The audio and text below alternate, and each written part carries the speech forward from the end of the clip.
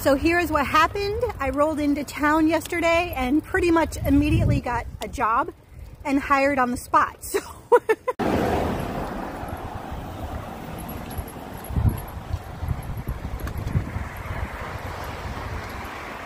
So I'm staying off of Mackinac Island, I think that's how you say it.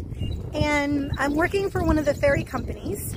And I like it because it's an outside job. I get to stay active. And oh yeah, I get to earn money. I'm not sure how long I'm going to be here. Um, at least a couple weeks. I've got to wait for a care package to arrive from um, my family in Utah.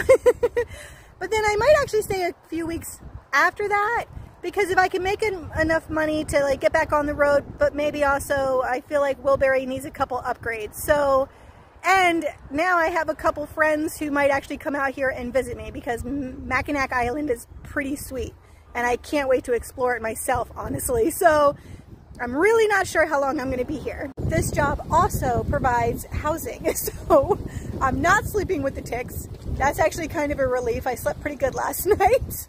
So yeah, so I'm just in a state right now where I need to figure out a different route. I still want to go west, still want to go to the west coast. Um, so I still, I just need to figure that out. And I'm just a little thrown off because I didn't expect to get a job so quickly, I guess, than a job like this. They would like me to stay all summer. I'm not going to stay all summer, but um, I will stay for a little while and then head out on the road again. So in the meantime, you know me, if you've been watching me for a while, you know I will ride my bicycle to and from work and stuff. I'm Where I'm staying, it's about three miles from um, where I'm working. So that's actually pretty awesome and it's a nice bike ride. So stay tuned. I'm still figuring everything out. What do I always say? One day at a time.